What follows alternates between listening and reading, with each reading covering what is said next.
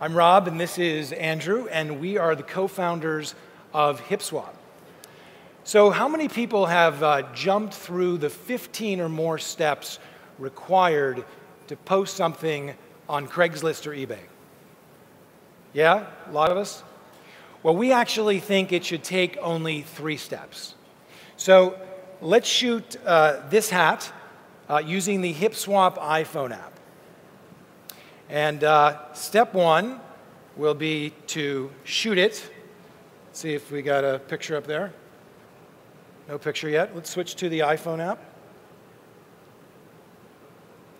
Okay. All right. Step one, here we go. We're going to shoot it. It's that easy that we can't even get it up on the screen. All right. Our first technical difficulty of the day. All right. Let's shoot to the, uh, let's shoot to the screen. So, yeah. Step one, we're going to shoot it. And we're going to take you to the screen. The step two is to price it, $20. Step three is to uh, title it, and we're going to call this the Ugly Brown Hat.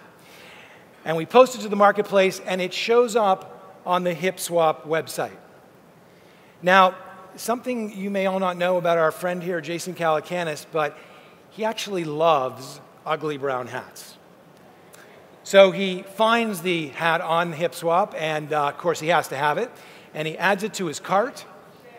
He clicks Pay Now, and the second unique thing, besides really easy posting, is local pickup and delivery. Local pickup and delivery, second unique thing about HipSwap.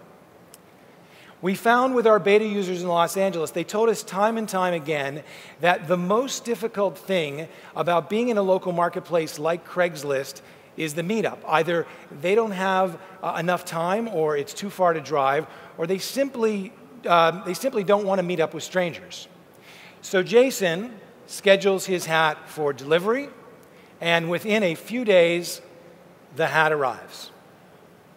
But you see, not only does Jason love hats, it turns out Jason is a big hat collector, which is really cool because the third unique thing about HipSwap is curated collections.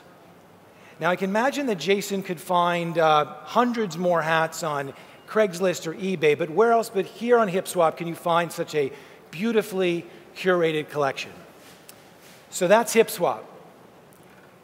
Really easy to post local pickup and delivery, and curated collections. HipSwap combines the power of, the local, of local commerce with local pickup and delivery and the amazing shopping experience of Zappos and the beauty of Pinterest.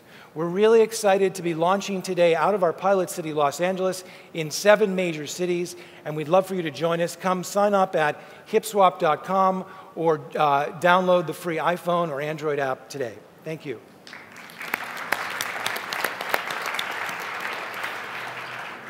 Questions, um, thoughts? I like the uh, local delivery thing. It's interesting. That's an interesting idea. If it's local in your neighborhood, uh, we're trying to sell a bed, and I don't want creepy people that I found on suspicious behavior uh, in my home because I have children. So it's an interesting idea to be able to sell something and get and not have to deal with um, people think, you know, trooping through your home. That's one thing that's good. But one of the things is trusting the stuff. You know, that's an ugly hat. Do I know I'm going to get it? Is it? Do they? Do you delay payment like on Airbnb? They delay the payments and stuff like that. So um, we've integrated uh, PayPal and credit card, and we do a delayed payment where that by uh, the person has to have received the money. We make sure that it has actually been received and paid for until we'll actually release it.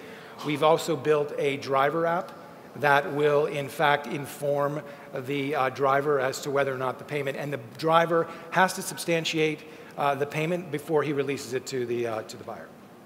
Does it require the driver? does it require the driver? It does not. It's a great question. Um, so on HipSwap, you can actually receive your uh, merchandise three ways. Uh, you, can, you can decide to um, do the meetup if you trust the meetup. You can choose delivery, or in fact, uh, launching today, we've uh, included shipping as well. So there's a shipping option that gives you, uh, you can put in the amount and uh, have it shipped uh, to the buyer. Second thing is the name seems very limiting. I mean, you're like, you're talking about brown hats and hipsters, so like, I mean, why is it just hipsters? This is a better, Craig- Craigslist sucks in terms of experience, so why are you limiting it to hipsters? In, in your name, in your, the, the, the mustache on the truck, why? We don't really see it as limiting to hipsters. I mean, clearly we're launching Feels that way. in areas that um, that are really focused on home and fashion. We think that people in areas like this are have a lot of stuff that they want to actually exchange, and this is a very social commerce uh, marketplace. And so that's a really important thing in how people engage, and that's kind of how we focused on uh, the brand. I would just advise you to broaden it out. Yeah. Don't be so limited in, Yeah. in that way. How- How much does it, how much does it cost? Uh, so HipSwap is free to post, and it's uh, a 3.5% uh, sales fee on then- every transaction. And it, what if there's delivery and, And so delivery, um, right now we've been uh, testing delivery for the last uh, four or five weeks in Los Angeles. We have a promotional introductory price of $5, and we're going to be scaling that out over time based on the size of the, uh, size of the package. and what's your, what is your actual cost of delivery end up being? We're actually working with a couple of partners right now and building some software to actually scale that out. We haven't decided on actu- the actual price of delivery yet going forward because we're coming out with some exciting uh, partnerships in about uh, two, three months to scale it across the country. Compete with the larger retailers that are doing some of this stuff, eBay and others? Because it's, uh, you know, you've got to get a lot of stuff in there, I would assume. I mean, I was looking on some of HipSwap stuff, and some people had like bag of dimes and stuff like that, um, which is a very attractive item to someone, I'm sure. But um, what, how do you keep the flow of merchandise? Because that's really what would make it attractive, like cool merchandise from people. Like, do you have curate people that have cool stuff, or stores that might, or? Right. So um, the, the one of the most unique things that we feel about HipSwap is the curation. Uh, we encourage everyone to uh, put whatever they want into the marketplace and buy and sell it, but it's very important to us to curate the front end of the marketplace. We're also building some curation tools, um, sort of uh, crowdsourced curation tools that will actually bring what we think some of the more beautiful stuff to the front of the marketplace. Right now, we're doing most of that curation ourselves. Could you have stores? Could vintage Yes. stores and stuff thank, like that? Thank you for, for asking that. Um, You're welcome. We currently have over 100 uh, stores on HipSwap in Los Angeles.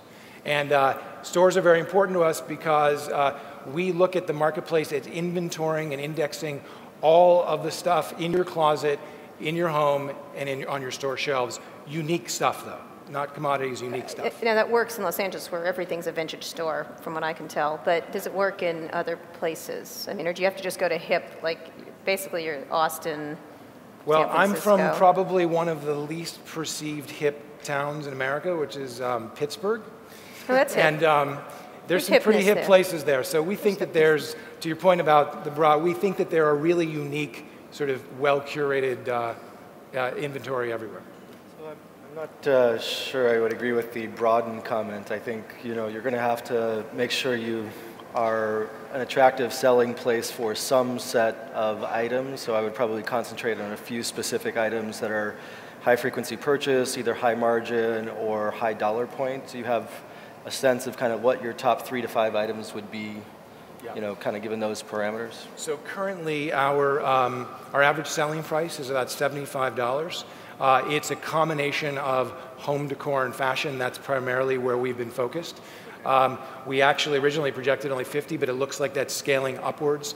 Um, the other thing is, uh, Are those large weight items that also require extra delivery cost or right. not? So the large weight items, we don't currently deliver the large weight items at the moment.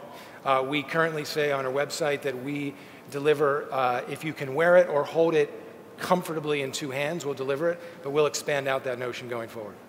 Yeah, my guess is, you know, becoming a destination marketplace is hard enough in the broadest sense. Even doing it, you know, for a niche category is probably difficult. So focusing on ones where you can make money and or like reduce cost but still have high frequency or high margin would be useful. I, I sort of agree with the branding thing. I, you know, it's a catchy name and I like the design and logo, but you know, I'd identify the transactions or areas where you think you're like likely to generate highest revenue, lowest cost, and try and brand around that perhaps initially. Let's hear it for HipSwap.